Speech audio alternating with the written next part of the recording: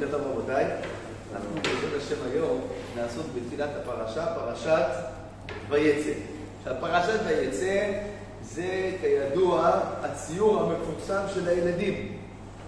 תמיד, אתם מכירים, אתם זוכרים את הציור הזה? רואים את יעקב שוכב, ויש ככה סולם גדול, וכל מיני מלאכים עם כנפיים ככה עולים ויורדים בסולם, ולמעלה ככה איזה אור גדול נוצץ, הקדוש ברוך הוא מדבר עם, עם יעקב. חלום, חלום הסולם.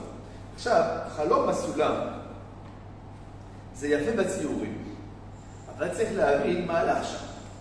למה צריך להבין מה הלך שם? כי לכאורה חלום הסולם הוא לא מגיע לבד. הוא לא מגיע לבד. תסתכלו בפסוקים.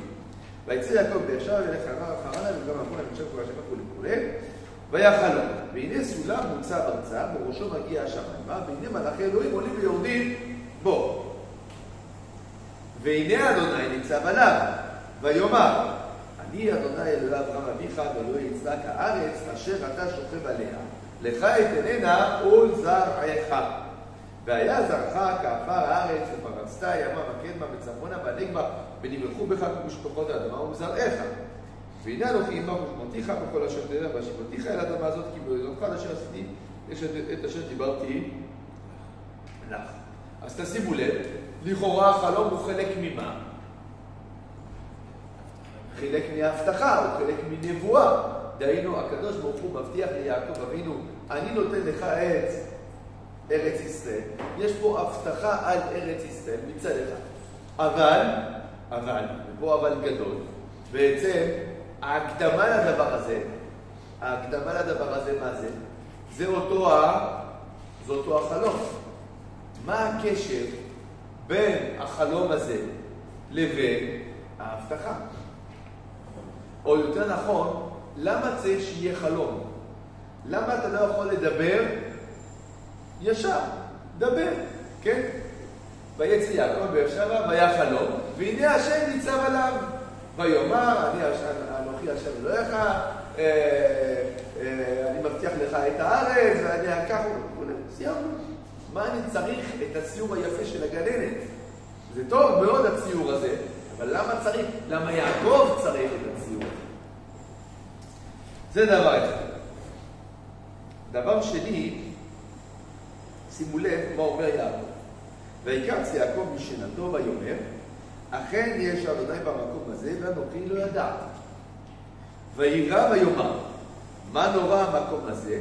אין זה כי אם בית אלוהים, וזה שער השמיים. טוב, תגידו לי רבותיי, איפה זה שער השמיים ובית אלוהים? איפה זה המקום הזה, שהוא נקרא, אכן יש השם במקום הזה, אין זה כי אם בית אלוהים, וזה שער השמיים. איזה מקום זה במדינת ישראל היום? לכאורה הר הבית, נכון? ירושלים. זה נקרא שער השמיים, בית אלוהים. טוב? וישכם יעקב ויאמר בבוקר ויקח את האבן עשר שם הרשות וישים אותם בצבע ויצג שמן על ראשה ויקרא את שם המקום ההוא בית אל. ואולם לוז שם העיר לה ראשונה. איפה זה בית אל? פה. פה. כן, זה פה, כן. אז בית אל זה, זה בבנימין. זה לא בירושלים.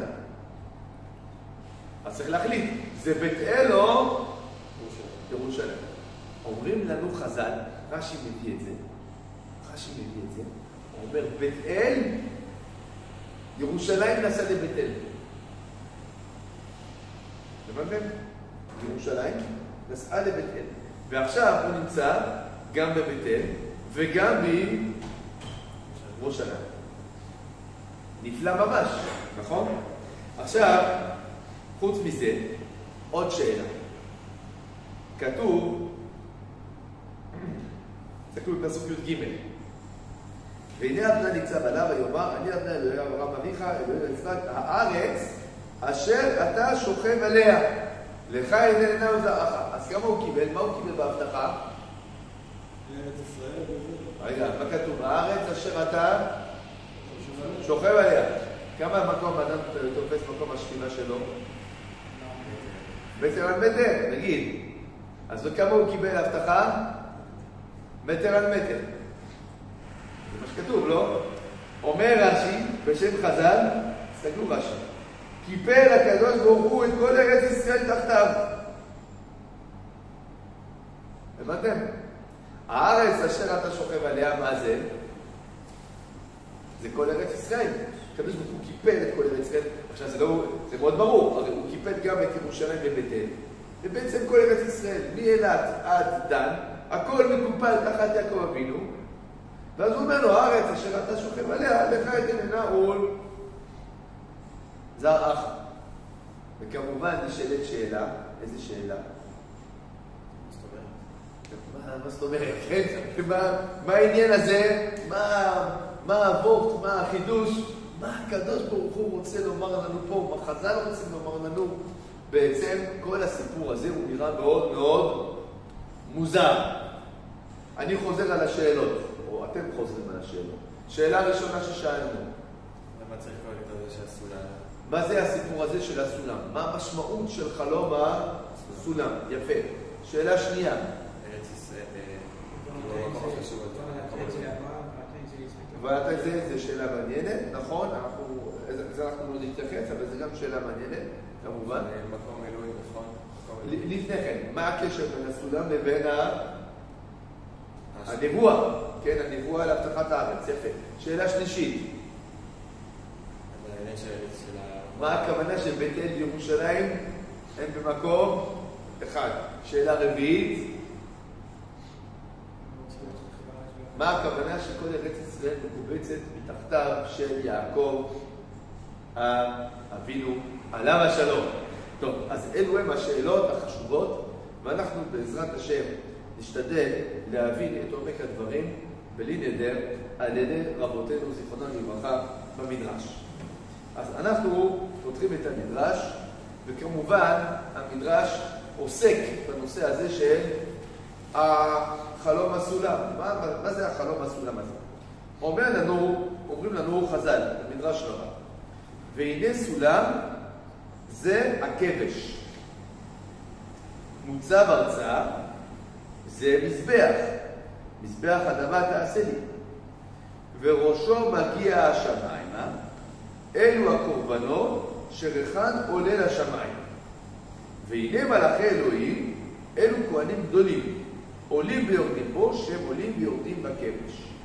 והנה השם ניצב עליו, ראיתי את השם ניצב על המזבח.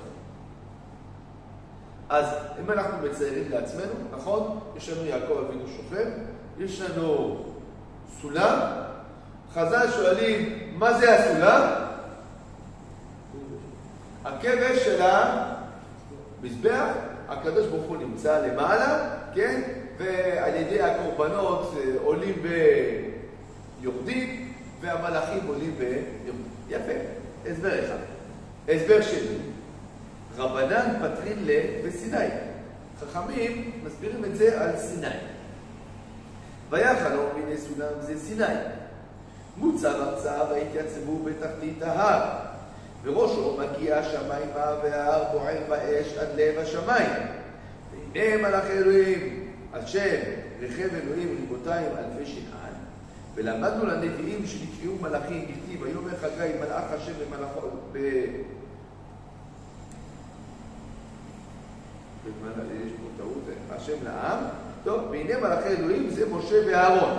עולים, ומשה עלה אל האלוהים, ויורדים זה משה וירד משה. בסדר? אז שני מדרשים. אחד אומר לנו, דעה ראשונה, מה אומרת לנו? מה זה הסולם? הכבש. כבש המזבח. דעה שנייה, מה זה הסולם? הר סיני. דעה שלישית, מה זה הסולם? לא, אין דעה שלישית. אבל לכאורה, אני הייתי אומר שדעה שלישית, מה זה הסולם? סולם. כאילו, מה חז"ל רוצים מאיתנו? הרי, והנה סולם, נו ברור, יש סולם, מה אתה רוצה? כתוב, הוא רואה סולם. מה חז"ל רוצים?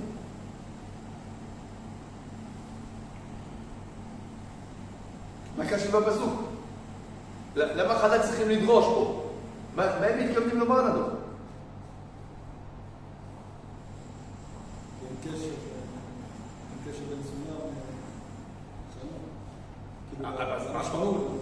יפה, בחלום כתוב שהיה סולם. מה חז"ל צריכים להסביר פה? מה לא ברור? יש פה מסר מה, או, מה, השאלה של חז"ל? מה המסר? של מה? של הסולם. או, כלומר, חז"ל שואלים מה מסר הסולם.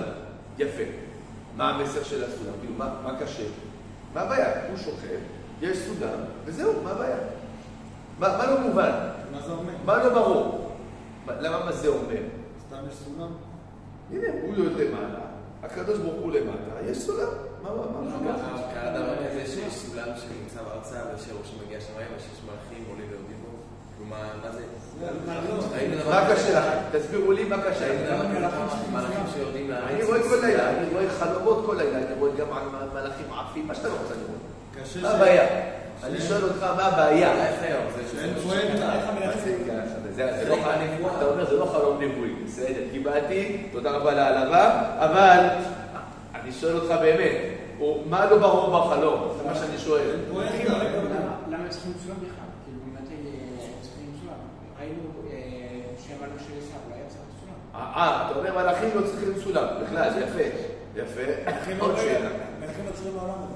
מלאכים לא קשורים לעולם הזה, עוד שאלה. זה? אני שואל אתכם, תעזבו, תעזבו, חז"ל תעזבו הכול. איך אתם מבינים אתם את החלום הזה? מה החלום הזה אומר? קשר בין קשר בין מה?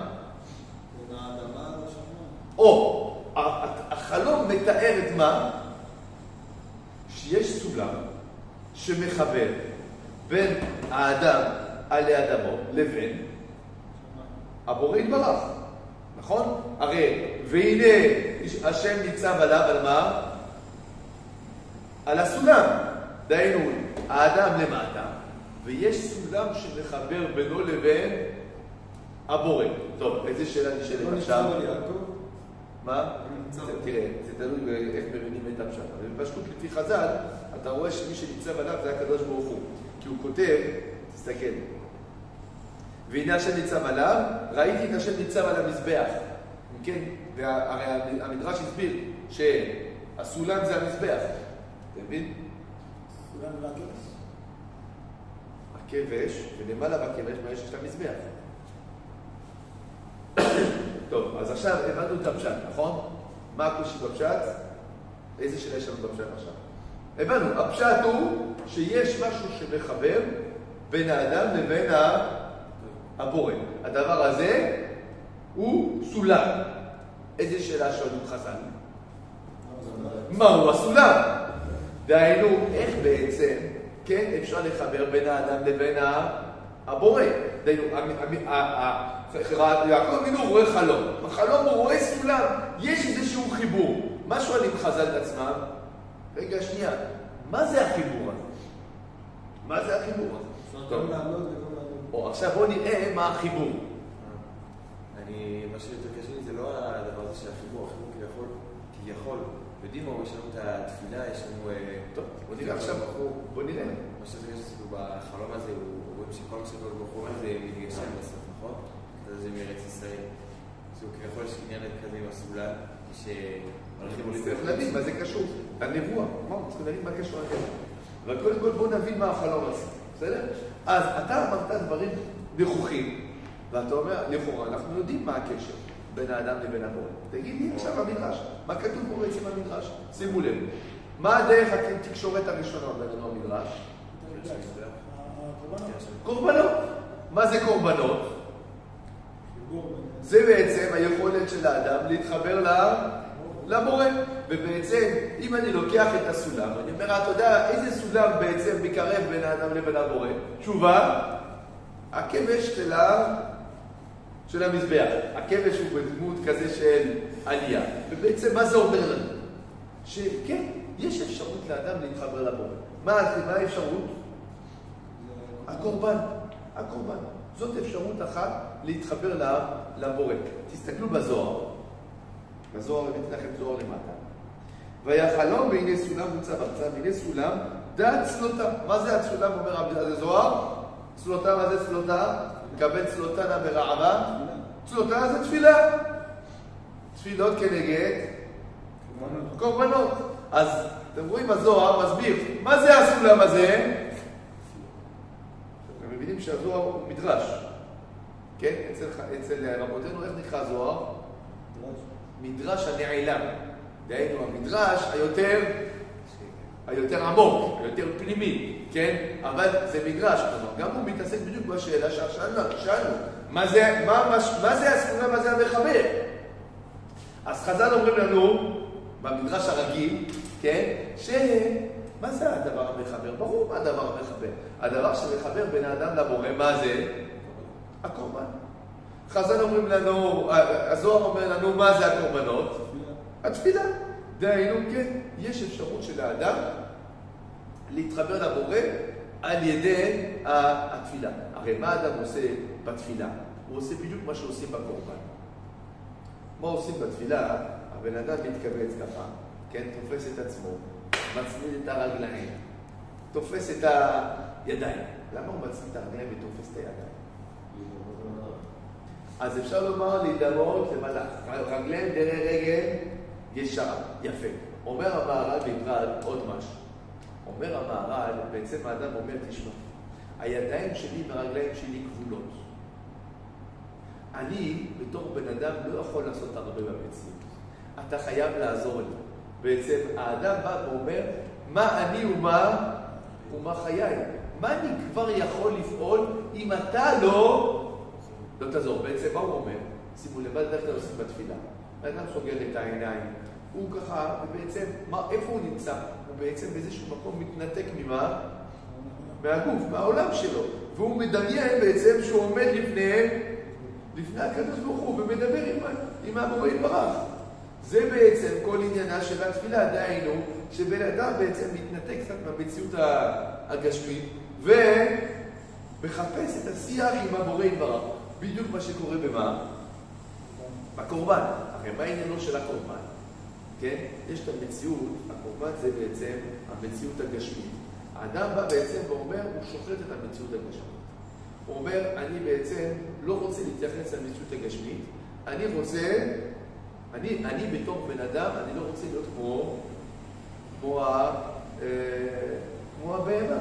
אני מבין שאני במקום, שאני במקום אחר, כן? ובעצם, דיברנו על זה פעם, אני חושב שאת הקורבנות שוחטים בצפון ומקריבים בדרום, נכון? המזבח חייב להיות בדרום, אבל את הקורבנות שוחטים בצפון. למה? כי מה זה הצפון? הצפון זה הצד הגשמי. איפה יודעים שהצפון זה הצד הגשמי? כל הרוצה להעשיר, יצפית. למה? כי מה יש בצפון של ארץ ישראל? הגולן. והזה, כן, הגולן, הגליל, כלומר, הסם הטבוע של המדינה, כל העושר הכלכלי של המדינה, איפה הוא נמצא? בצפון. מה יש בדרום במדינת ישראל? מדבר. אז לכן, מי שרוצה להחכים, אם אתה רוצה להתגדל בתורה, איפה אתה הולך? בדרום. כי שם אין למה לעשות, חוץ מללמוד, כן? ולכן הרוצה להחכים, ידרים. והסימן, שולחן בצפון ומנורה בדרום. יפה. אם כן, את השוח... שוחטים את הבהמה בצפון, ואיפה מקריבים אותה? בדרום. כלומר, שוחטים את החומריות, ואנחנו מביאים, מגיעים למצב של, של רוחניות. זה בעצם כל תהליך הקורבן. זה תהליך ה... התפילה. וזה בעצם הסולם הזה שמחבר בין האדם לבין, לבין הגוף. זה סולם אחד. איזה עוד סולם יש לנו? סולם שני. הר סיני. מה זה הר סיני? התורה הקדושה. הדרך השנייה של האדם להתחבר לבורא זה דרך סיני. דהיינו אם אנחנו שואלים איך האדם מתקרב, איך האדם עולה, תשובה על ידי תורה. כשאדם לומד תורה, הוא מתעלה, הוא מתקדש, הוא מתקרב לבורא יתברך. עכשיו כמובן, שימו לב, גם עבודת הקורבנות וגם עבודת התורה, היא צריכה מלאכים. מי זה המלאכים? אז זהו, אצל, אצל, אצל הכוהנים, אצל התפילה זה הכוהנים, אצל התורה זה משה ואהרון. דהיינו, בסופו של דבר, חז"ל אומרים לנו, אם בן אדם רוצה להתעלות, הרבה פעמים מה הוא צריך? הוא, לא, צריך תורה, אבל זה נכון, אבל הוא גם צריך איזושהי הדרכה, כן? בעצם הקשר הזה, יש סולם, אבל צריך לעלות בו, כן? איך אתה עולה בסולם? איך בעצם אתה מגיע לקרבה הזאת, להתעלות הזאת? על ידי איזושהי הדרכה, שזה יהיה הדרכה של הכוהנים או הדרכה של, ה, של הרבנים, כן? שהמכנה המשותף בין שניהם, מה הוא? כי שפתי כהן ישמרו דעת ותורה יבקשו מפיהו כי מלאך השם צבאות הוא. כלומר, הכהן הוא בדמוי של מלאך. וחז"ל דרשו את הפסוק הזה על מי? על הרב. אם רבך דומה למלאך השם, למד ממנו תורה, ואם לא, אל תלמד. שנאמר, כי שפתי כהן ישמרו דעת, ותורה יבקשו מפיהו. למה תורה יבקשו מפיהו? כי מלאך השם צבאותו. דהיינו, הרב הוא נראה בדמות של מלאך, לא הכוונה שיש לו כנפיים, כן? אלא הכוונה, הוא, הוא דמות שמראה לנו, כן? מה זה הדרך להתעלות. הוא מראה לנו שבעצם איך אנחנו עולים, איך אנחנו בעצם עפים ל, ל, לשמיים. לכן אנחנו רואים ברב, בכהן, אנחנו רואים דמות של אפשר להזדהות איתה. אנחנו לא רואים פה דמות חכמה יותר, כן? אלא אנחנו רואים דמות אצילית יותר. דהיינו דמות ש... וואו, זה... זה... אני זוכר את זה כשהייתי ילד, הייתי בבית ספר בחוץ לארץ, והיה לנו רב, רב מאוד נחמד, והבת דודה שלי הייתה באותו בית ספר, היה כיתות בנים, כיתות בנות, והבת דודה שלי אמרה לי יום אחד, תשמע, אמרו לנו שהרב שלכם הולך להיות גם הרב שלנו. אמרתי לה, וואי, איזה כיף לכם, הוא ממש יפה. ככה אמרתי לה בתור ילד, הרב הוא יפה. מה זה, הייתי נער, הוא יפה. טוב, מה יפה? הוא נראה רגיל, מה, זקן קטן? לא, מה יפה? אחרי שיעור אחד היא לי, אתה צודק, הוא יפה. מה בעצם, מה, מה, מה הרגיש המשורר בתור נער? מה הרגשתי? הרגשתי שהרב הוא, הדמות היה באמת יהודי של צורה, יהודי ממש של צורה. היה יושב ארבע שעות בלילה, מוסר נפשו כדי ללמד תורה, ללמד תורה, היינו ארבע בשיעור. ומוסר נפשו, למדנו איתו מסכת כתובות, ככה בעיון. הוא ממש מסר באהבה עצומה. אז הרגשת שיש פה רב שבעצם, איך אומרים, הוא לא בא בשביל המשכורת, הוא לא בא בשביל איזה, הוא בא כדי ללמד תורה, למסור את התורה מן השמיים. בשביל זה הוא בא לפה. כן? ואז אתה רואה אותו, אומר, הרב הזה הוא, הוא יפה, הוא יפה, הוא מלאך השם, כן? הוא, הוא שליח של שלוחא דרחמנא, כן? הוא שליח של הקדוש ברוך הוא אלינו הילדים, כן? עכשיו זה, שוב, זה לא בעיניים, זה ההרגשה. לכן אמרו לנו חז"ל, איך בן אדם בוחר רב? הוא רואה דמות שמתחבר אליה, כן? הכהן, הכהן, יש לנו הרבה הקפדות על הכהנים, שיהיו יפים, מסודרים והכול. כל זה למה? כי אנחנו רוצים שבסוף הציבור יכבד אותם, יזדהה איתם, יראה בהם, רואים מה זה, תשמע, זה, זה כהן. אתה נותן לו מתנות כהונה, אתה נותן תרומות, מעשרות, כל מיני דברים. למה בסוף? הוא קרוב לשם, הוא עובד בבית ה... במקדש, הוא מקריב את, ה... את הקורבנות, וזה אמור בעצם להיות חלק ממה שהוא אה, משדר, כן? ממה שהוא משדר. אז, אז מה זה המשמעות של החלום? עכשיו הבנו מה המשמעות של החלום. לכאורה, הבנו בינתיים בינתיים מה שנקרא שכבה ראשונה, כן? הקדוש ברוך הוא, החלום אומר, דע לך, יש חיבור בין האדם לבין הבורא. החיבור הזה, חז"ל מבארים לנו את אורכו, החיבור הזה הוא דרך התפילה, החיבור הזה הוא דרך ה- התורה, אבל בצורה חד משמעית ישנו חיבור. ישנו חיבור. ועכשיו בואו נעמיק עוד במהות העניין פה קורה.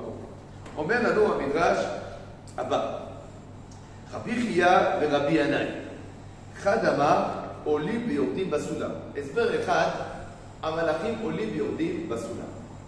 ואחד אמר עולים ויורדים ביעקב. מה דאמר עולים ויורדים בסולם? ניחא, תראה, עולים ויורדים בסולם מובן, המלאכים יש להם רגליים, כנפיים, הם עולים ויורדים בסולם, מה מסובך? ומה דאמר עולים ויורדים ביעקב? עכשיו, מה זה עולים ויורדים ביעקב? מה הכוונה? שימו לב, מעלים ומורדים בו, אפזים בו, כפזים בו, סותנים בו. שנאמר, ישראל בך, אשר בך התפאר, את ושיקונין שלך חקוקה למעלה. עולים למעלה ורואים עיקונין שלו, יורדים למטה ומוצאים אותו ישן. נסביר. אומר לנו המדרש, במרכבה העליונה, תחת כיסא הכבוד, יש שם דמויות. יש דמות שור, דמות, אה, דמות אה, נשק. אחד הדמויות זה דמות אדם. מי זה האדם שם? יעקב אבינו. אז המלאכים עולים בשמיים. ככה מסתכלים בשמיים מלמטה למעלה בשמיים, ומה הם רואים? כיסא המרכבה, מה הם רואים? יעקב אבינו. אומרים, אה, נחמד. הם יורדים למטה, על כדור הארץ, ומי הם רואים ישן? יעקב אבינו. הם רגע, זה אותו, זה הוא. מה קורה פה? ובעצם הם נדהמים, הם לא מבינים מה הולך. זה עולים ויורדים בו, ביעקב. דבר אחר, כל מי שהוא אומר זכותו עולה חובת, עולה, חובתו יורד. למטה, כל מי שהוא אומר זכותו יורד, חובתו עולה. כלומר, בשמיים, מי שמלמד זכות על עם ישראל עולה, מי שמלמד חובה יורד. בארץ, מי שמלמד זכות על עם ישראל יורד, מי שמלמד חובה עולה. דבר אחר, עולים ויורדים בו. עולים אותם שלימדו אותו בארץ ישראל, ויורדים אלו שלימדו אותו בחוץ לארץ. זה רש"י. אתם רואים רש"י רק שבוע אחת, ויש הרבה מדרש לפני. כן, מה חז"ל רוצים לומר? מה הכוונה? מה השאלה שיש לנו לשאול? מה השאלה? קודם כל הסברנו, נכון, החלום, הס- הסולם הזה זה החיבור. עכשיו, מה השאלה שנשאלת לנו, נשאל לנו, עוד? אומרים למה המהלכים עולים ויורדים? ובעצם, מה זה אמור לומר למי? לא לנו, אבל גם. ליעקב. ליעקב. אז אומרים, עולים ויורדים בו. כלומר, יש פה איזשהו מסר ל... ליעקב. מה חז"ל שואלים עכשיו? מה המסר? ליעקב? חוץ מזה שיש חיבור, אבל מה המשמעות? מה זה אומר ליעקב אבינו? אז תשובה ראשונה, מה הוא? שהם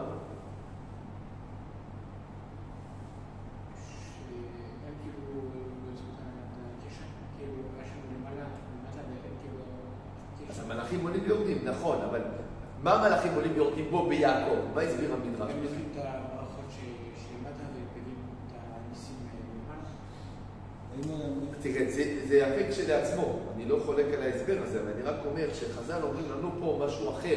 הם אומרים שהם רואים למעלה דמותו בכיסא המרכבה, ורואים אותו למטה ישן. מה, מה הכוונה? תלוי בו אם הוא עולה... תלוי בו עולה או יורד. מה זה אומר שהקדוש שיעקב אבינו תחת כיסא המרכבה? תסבירו לי, מה הכוונה? מקום גבוה, הוא. הוא הכ- מה זה- כיסא המרכבה באופן כללי? מה הכוונה כיסא המרכבה? מה זה מרכבה? מה המשמעות של כיסא? נכון, יש לנו את מעשה מרכבה. מה זה מעשה מרכבה? צבא השם, אבל מה זה מעשה מרכבה? מה, מה תוכן של המעשה, מה תוכנו של המעשה הזה? יש לנו מעשה בראשית, נכון? ויש לנו מעשה מרכבה. שני דברים שאסור לעסוק בהם. מעשה בראשית, כאילו, מה זה אסור לעסוק בהם? שמותר לעסוק בהם, אבל זה פנימיות התורה. יש לנו מעשה מרכבה, מעשה בראשית. מה זה מעשה בראשית? בריאת העולם. איך הקדוש ברוך הוא ברא את עולמו, נכון? מה זה מעשה מרכבה?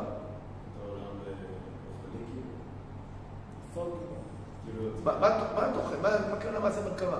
מה לומדים במעשה מרכבה? כש- כשיש שיעור במעשה מרכבה, מה הכוונה? חיבור לבורא עולם, הנגון. עולם. איך הקדוש ברוך הוא מנהיג את העולם. מה זה מרכבה? אני רוכב על הסוס, אז אני מנהיג את הסוס. אז בעצם הקדוש ברוך הוא, המרכבה בעצם, מה זה אומר? איך הקדוש ברוך הוא רוכב על העולם. ובעצם מה הכוונה? איך הוא מנהיג את העולם. מה אומר יחזקאל? ראיתי את השם, הוא רוכב ככה, הוא עושה ככה, הוא נוסע ככה, והחיות לא... בעצם כל אלה זה תיאורים של מה? תיאורים רוחניים של איך הקדוש ברוך הוא מנהיג את העולם. מה מתברר? מי נמצא במעשה המרכבה? הצדיק. הצדיק נמצא במעשה המרכבה. דהיינו, לצדיקים יש השפעה אדירה על כל הנהגת העולם. עכשיו, מה קורה? המלאכים עולים, ויור... עולים למעלה, רואים מעשה מרכבה, כלומר, הם רואים בעצם את כל ה... איך אומרים? כל הסדר העליון, איך הכל בנוי. מי הם רואים בראש הפירמידה? יעקב. עכשיו, מה הם מצפים? טוב, זה יעקב הוא... מה, הוא למעלה. יורדים למטה, רואים אותו, ישן. יש לו תפקיד גם... הוא ישן. כלומר, שימו לב, זה כמו בן אדם, הוא רואה את המלך, כן, במה שנקרא, בשיא המלחמה, והוא פוקד על כל ה...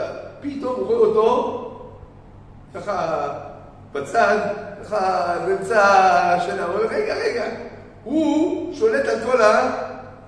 כל העולם, והוא בעצם בן, בן אדם, בן תמותה. הוא בן תמותה.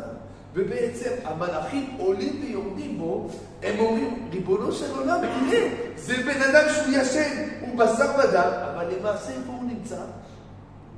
במעשה מרכבה. כלומר, מה המסר, רבותיי? מה המסר ליעקב? עולים ויורדים. יש חיבור בין האדם לבורא, אבל החיבור הזה, מה הוא אומר? יש אפשרות להתחבר, נכון. דרך תפילה, דרך לימוד, אתה יכול להתחבר. אבל מה זה אומר שאתה יכול להתחבר? זה אומר שאתה יכול להשפיע על כל העולם. דהיינו, הסולם הזה, הוא מאפשר בעצם לאדם להיות מה? להיות, לעלות בעצם למעלה, ולהיות שותף עם הבורא בהנהגת העולם. צדיק גוזר והקדוש ברוך מקיים. דהיינו, יש פה משהו מדהים. האדם עלי אדמות, האדם הזה שיושן, הוא עכשיו באמצע, באמצע לעשות נחירות, הוא יושן. אבל האדם הזה הישן, החומרי, הגשמי, למעשה הוא נמצא תחת כיסא הכבוד והוא משפיע על כל העולמות כולם. זה המסר של הסולם. יש חיבור בין האדם לבורא, והחיבור הזה מאפשר לאדם, כשהוא מתעלם ומתחבר לבורא, להגיע לנקודת השפעה אדירה. זה גם ההסבר השני של המדרש, שאומרים לנו שבעצם מה שקורה בעולם כולו, אם, אומה עולה או יורדת, הכל תלוי במה? ביחס שלה למי? לעם ישראל. מי שמתחבר לעם ישראל עולה, יורד. הכל תלוי בעצם במה? ביעקב אבינו ובעם, ובעם ישראל. וזה המסר של הסולם. עכשיו רבותיי, זה המסר של הסולם. נבין עכשיו, אז מה הקשר לנבואה? קודם כל, למה צריך להגיד את זה בחלום?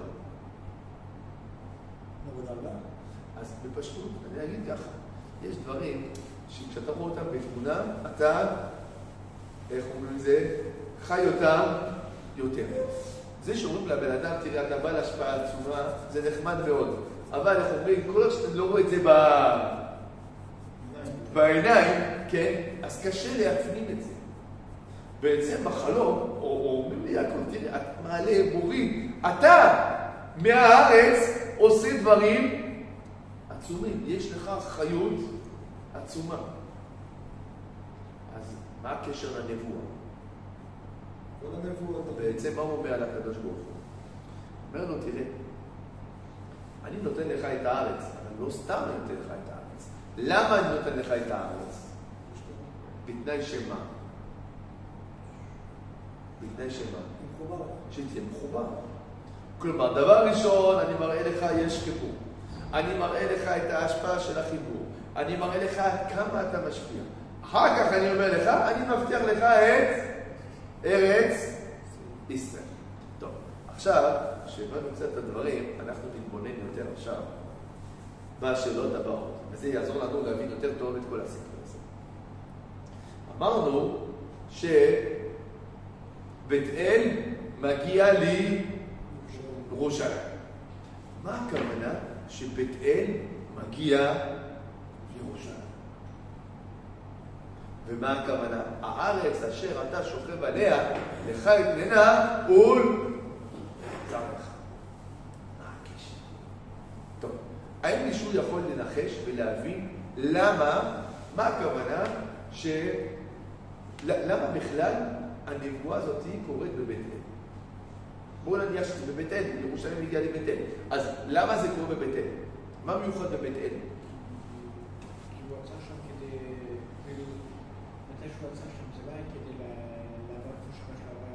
לא. נכון, הוא עבר במקום ש... אבל, אבל זה, זה חז"ל. הוא רצה ללכת לירושלים, ובדרך ירושלים קפץ אליו לבית אל. כלומר, היה כן עצירה בבית אל. ירושלים קפצה לבית אל. כן, ציורית כמובן. כן, עכשיו, למה, למה צריך עצירה בבית אל? מה מיוחד בבית אל? תראה, אתם עכשיו גרים בארץ, אתם צריכים לדעת מה מיוחד בבית אל. מה מיוחד בבית אל? מה יש בבית אל מיוחד? יש משהו מאוד מיוחד בבית אל. זה הרמב"ם. יש בבית אל מקום שנקרא אתר סולם יעקב. מה זה האתר הזה? מה יש שם? מקום מאוד גבוה. זה מקום מאוד גבוה. מה יש שם? יש מגדל מים. יש מגדל מים, יפה. אתה עולה על מגדל המים בבית אל, מה יש שם מיוחד? אתה יכול לראות מבית אל את כל ארץ ישראל. זה מה שמיוחד בבית אל. זה ההר הכי גבוה בכל האזור, ובלמעלה בהר בבית אל אתה יכול לראות מהדרום הרחוק עד הצפון הרחוק. אה, מהכנרת עד, עד אה, הים הגדול. בית אל זה בעצם המרכז הגיאוגרפי של כל ארץ ישראל.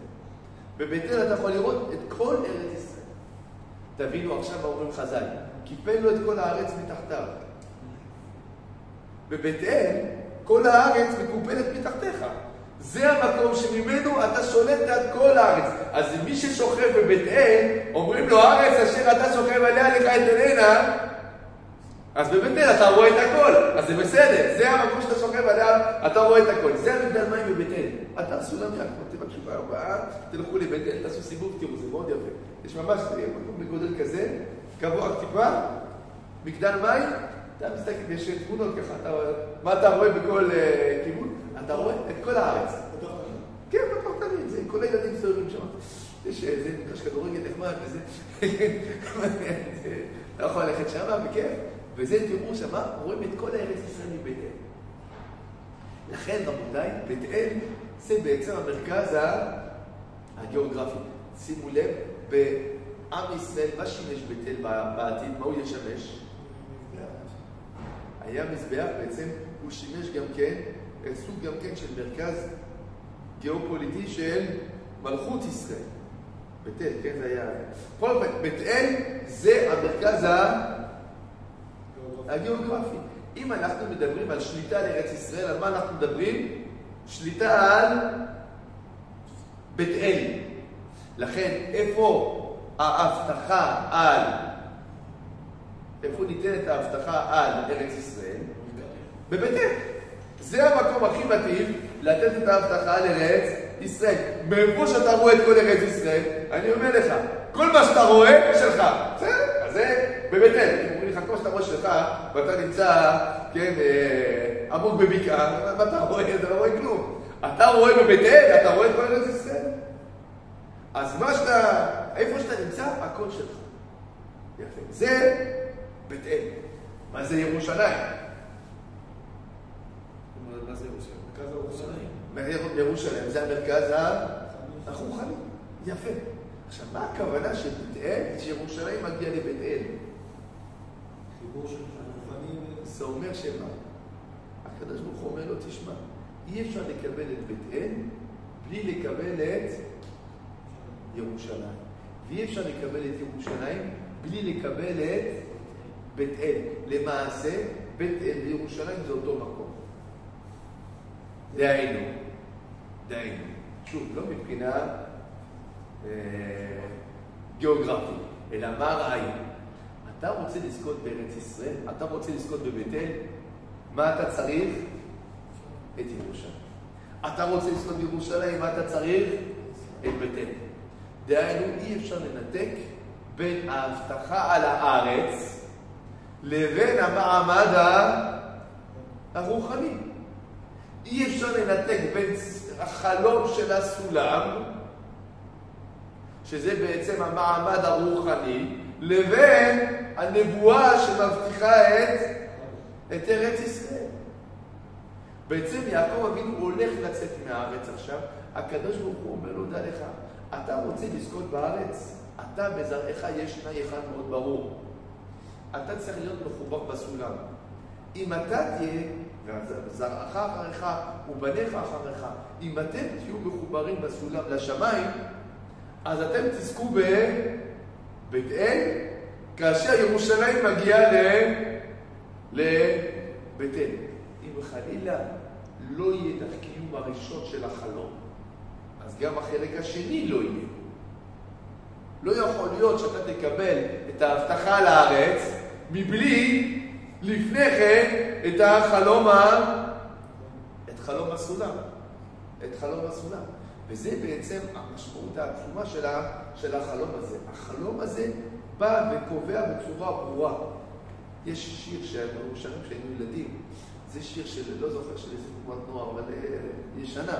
ארץ ישראל בלי תורה, כגוף בלי נשמה, כן? עכשיו, כמו שגוף בלי נשמה לא יכול להתקיים, אז גם בית אל לא יכול להתקיים בלי ירושלים.